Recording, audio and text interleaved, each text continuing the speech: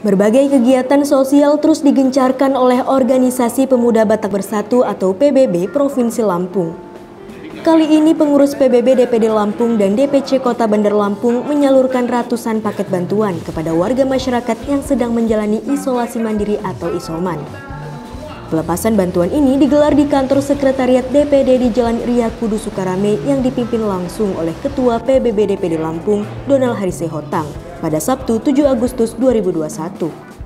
Paket bantuan ini disalurkan ke empat wilayah di Bandar Lampung oleh sejumlah anggota PBB.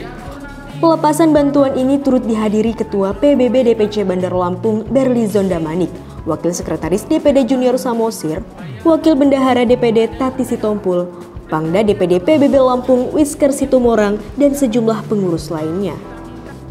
Donald menyampaikan rasa prihatin atas banyaknya warga Lampung yang terpapar COVID-19. Ia pun berharap bantuan ini dapat meringankan beban para warga yang sedang isoman. Namun ia juga mengingatkan agar anggota PBB yang menyalurkan paket bantuan ini untuk tetap menjaga diri. Jangan sampai kegiatan sosial ini justru membawa dampak penularan virus corona.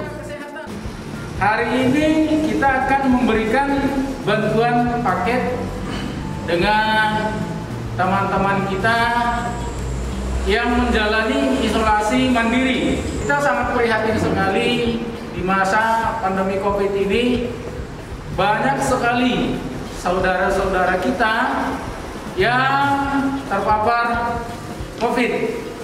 Kegiatan hari ini adalah sebagai bentuk perhatian kita dengan para teman-teman. Uh, pesan saya yang menjalani isolasi mandiri supaya mereka tetap bersemangat, tetap bersemangat, tetap optimis.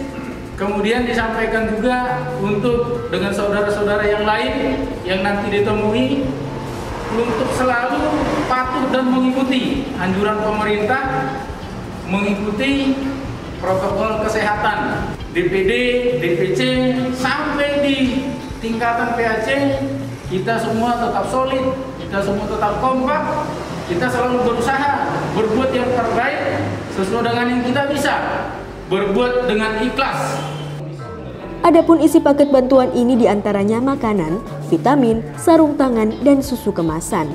Para penerima bantuan sebelumnya sudah didata oleh PBB sehingga dipastikan akan tepat sasaran.